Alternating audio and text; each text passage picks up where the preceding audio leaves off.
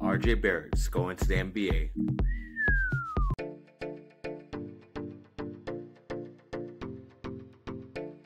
Yeah, I guess it's just always going to be breaking news whenever I come back, but yeah, it's pretty crazy.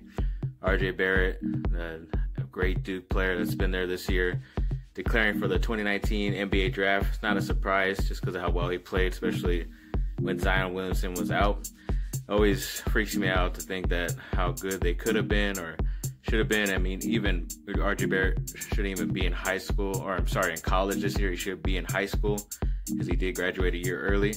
Same thing I thought last year with Marvin Bagley when he was there at Duke. I think they needed at least one more year to get their bodies ready and mentally be prepared to go into college. And I think they would have been all right, a lot better. Both times they got, you know, clipped up in the Elite Eight.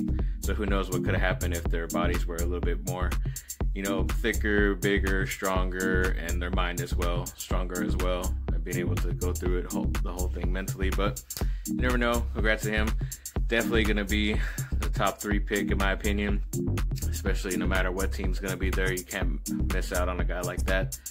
Congrats to him have uh, nothing but love and respect, and the Brotherhood is definitely looking out for him for Duke. Don't know what Zion Williamson or Cam Reddish are gonna. They don't don't know when they are going to declare, but I guess we'll find out. Just a little, just a little quick update.